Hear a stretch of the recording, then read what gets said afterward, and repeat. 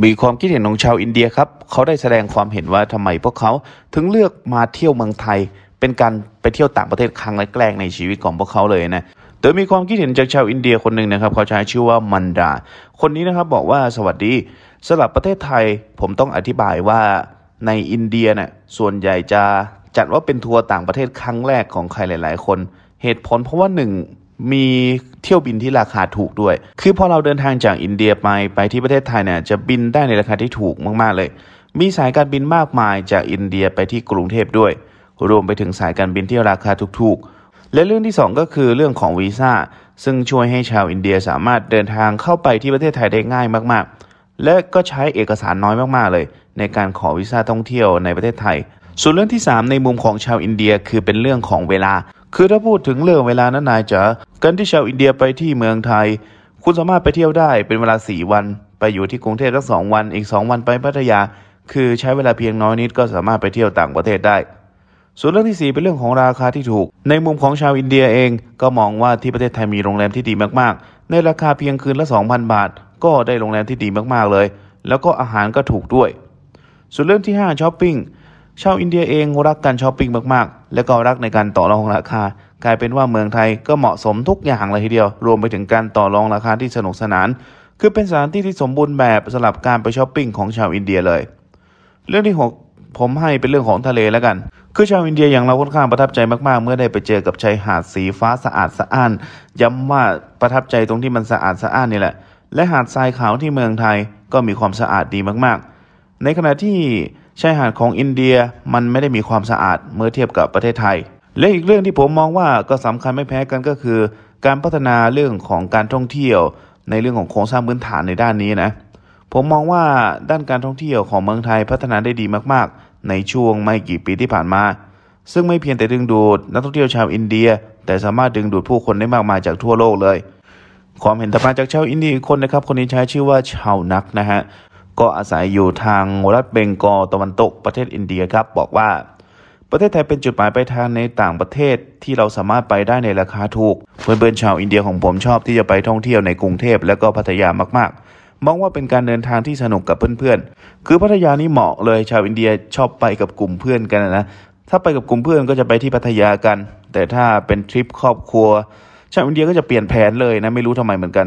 คือถ้ามากับครอบครัวพวกเขาอาจจะหลีกเลี่ยง ที่จะไปพัทยาแล้วก็ไปภูเก็ต หรือไม่ก็กระบี่แทน แต่ค่าใช้จ่ายก็ใกล้เคียงกันอไม่รู้เหมือนกันนะเนี่ยว่าทำไมไปกับเพื่อนต้องไปพัทยาด้วยงงมากเลย อันนี้เป็นคอมเมนต์ของชาวอินเดียเองเลยนะเขาบอกต่อนะครับว่าอย่างค่าเครื่องบินโดยสารไปกับจากโกกาตาไปกรุงเทพ มันราคาไม่ถึง 1 0,000 รูปีเลย เที่ยวบินในอินเดียเนี่ยยังจะแพงกว่าอีกนะคือบินไปที่ประเทศไทยยังถูกกว่าบินในประเทศของผมเองซะด้วยซ้ำ อีกเรื่องหนึ่งผมมองว่าชาวอินเดียมีสิทธิ์ในการขอวีซ่าเมื่อเดินทางมาถึงประเทศไทย ก็เลยไม่ต้องกังวลเรื่องของอระเบียบวีซ่าอะไรต่างๆ กฎระเบียบอะไรต่างๆ คือคุณสามารถซื้อตั๋วได้ตลอดเวลาวางแผนการเดินทางแล้วก็มาได้เลย ไม่จะเป็นต้องขอวีซ่าล่วงหน้า และผมมองว่าในมุมของอินเดียนะเรามองว่าเมืองไทยไม่ได้แพงขนาดนั้น แน่นอน ถ้าคุณพักในกรุงเทพราคาอาจจะแพงกว่าเมืองส่วนใหญ่ของอินเดียอยู่ แต่เมื่อเทียบกับประเทศอื่น ๆ แล้วกับการไปเที่ยวต่างประเทศ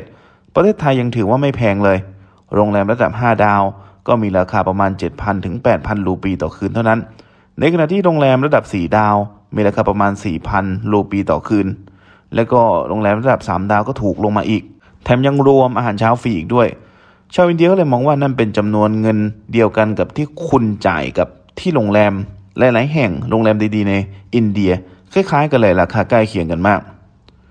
พูดถึงการเดินทางรอบเมืองบ้างนะ ในมุมของชาวอินเดีย ผมเองก็มองว่าการเดินทางไปทั่วประเทศมันไม่ได้แพงอะไรมาก คุณสามารถใช้บริการรถตุกๆ ซึ่งอารมณ์มันคล้ายๆ กับรถสามล้อในอินเดียเลย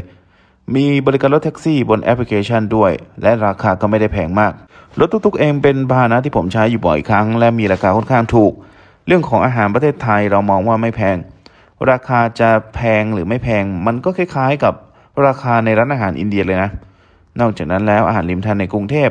ยังเป็นที่นิยมอย่างมาก และค่อนข้างมีชื่อเสียง แต่สิ่งที่มันแตกต่างจากอาหารในอินเดีย ผมประทับใจอาหารไทยตรงที่อาหารเหล่านี้ ค่อนข้างถูกสุขอนามัยมากกว่า อันนี้ก็เปรียบเทียบกับประเทศเขานะครับ ว่าเมืองไทยอาหารริมทางเนี่ยยังดูสุขถูกสุขอนามัยนะครับ มากกว่าอาหารริมทางที่อินเดียนะที่แบบว่าทำไปเลอะไปอะไรประมาณนั้นอย่างที่เราเห็นคลิปกันนะเขาบอกว่าอินเดียประเทศเขานะครับโอ้โห มันมันเลอะเทอะกว่านั้นมากๆเลยแบบว่าทำไปเลอะไปเปื้อนไป แล้วก็ตักใส่ถุง ตักใส่ถ้วยอะไรประมาณเนี้ยแต่เมืองไทยไม่ไม่ถึงขนาดนั้นนะ โดยสรุปส่งท้ายนะครับในมุมของชาวอินเดียคนนี้ก็บอกว่า คือพอรวมค่าตั๋วเครื่องบินแล้วกลายเป็นว่าการเดินทางไปที่เมืองไทย 4 วัน โอ้ขออภัยครับ 4 คืน 5 วันสำหรับครอบครัวไปกัน 4 คนเนี่ยค่าใช้จ่ายมันถูกมากๆเลยเหมือนเดินทางในประเทศอินเดียเอง ผมก็เลยมองว่ายิ่งถ้าไปกับเพื่อนนะคุณยิ่งสามารถหารจำนวนห้อง หรือว่าหารห้องพักในราคาที่ถูกกว่านั้นได้อีก ดังนั้นชาวอินเดียจำนวนมากก็เลยเลือกเดินทางไปต่างประเทศประเทศแรกๆเนี่ยก็เป็นประเทศไทยด้วย เนื่องจากมีราคาไม่แพง แล้วก็เมื่อเทียบกับประเทศอื่นๆ ค่าตั๋วเครื่องบิน บินจากอินเดียก็ไม่สูงนักคอมเมนต์จากชาวอินเดียอีกคนนะครับ ก็คุณคาวิชนะครับบอกว่าผมรู้สึกว่าคุณกำลังลืมพูดถึงสิ่งสำคัญของประเทศไทยไปเสียแล้ว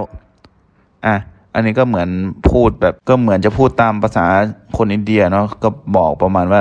คุณลืมพูดถึงสิ่งอะไรบางอย่างหรือเปล่า ที่มันดึงดูดให้ไปประเทศไทยในมุมของชาวอินเดีย แต่ว่าคุณชาวนักนะครับเขามาตอบดีมากๆเลยนะเขาบอกว่าประเทศไทยเนี่ยมีอะไรน่าสนใจมากกว่านั้นมากนะ ประเทศไทยมีสถานที่ที่สวยงามเป็นประเทศที่สวยงาม และมีที่เที่ยวอย่างมากมายเลย โดยไม่จำเป็นต้องพูดถึงสิ่งที่คุณกำลังคิด โดยชาวอินเดียคนก่อนหน้านะครับ ก็เข้ามาบอกว่า ฉันรู้นะพี่ชาย เพราะฉะนั้นก็น่าจะพูดถึงบ้างนะว่าอีกเหตุผลที่ไปที่ประเทศไทย ก็เพราะว่าชีวิตที่สนุกสนานในช่วงเวลากลางคืนด้วยไงล่ะ คอมเมนต์จากชาวอินเดียอีกคนนะครับ คุณออลพิทบาเตลีนะฮะก็บอกว่า ผมมองว่าโรงแรมในไทยถูกกว่าในอินเดียอีกนะถ้าปัจจุบันมีคอมเมนต์จากราเจตนะครับ คนนี้อยู่ที่ปูดูเชอร์รีประเทศอินเดียก็บอกว่า ชาวอินเดียสนใจประเทศไทยด้วยเหตุผลหลายประการ ผมมองว่านี่คือเหตุผลที่ทำให้ไทยเป็นจุดหมายปลายทางยอดนิยมของชาวอินเดียหนึ่งเป็นเรื่องของความใกล้ชิดและการเข้าถึงที่ง่ายด้วย ประเทศไทยอยู่ใกล้กับอินเดียในทางภูมิศาสตร์ทำให้นักเดินทางชาวอินเดียนักท่องเที่ยวเองเข้าถึงประเทศไทยได้ง่าย จากเที่ยวบินจากเมืองใหญ่ของอินเดีย ไปยังจุดหมายปลายทางยอดนิยมของไทย คือมีอยู่บ่อยครั้ง และราคาย่อมเยาวทำให้การเดินทางนั้นสะดวกมาก เรื่องที่ 2 คือประสบการณ์การเดินทางที่หลากหลาย ประเทศไทยนำเสนอประสบการณ์การเดินทางที่หลากหลาย ได้มากกว่าประเทศอื่นๆ และเหมาะกับทุกความต้องการของผู้คนที่มาจากอินเดียด้วย ตั้งแต่ตัวเมืองที่มีความพลุกพล่านอย่างกรุงเทพ แต่ว่าก็มีความรู้สึกว่าแออัดน้อยกว่าในเมืองใหญ่ของอินเดียอยู่นะ ไปจนถึงจุดหมายปลายทางริมชายหาดที่สวยงาม อย่างกระบี่และก็ภูเก็ต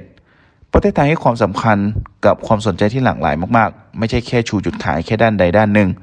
มีทั้งวัฒนธรรมประวัติศาสตร์ ธรรมชาติการปะจนภัย และการผ่อนคลาย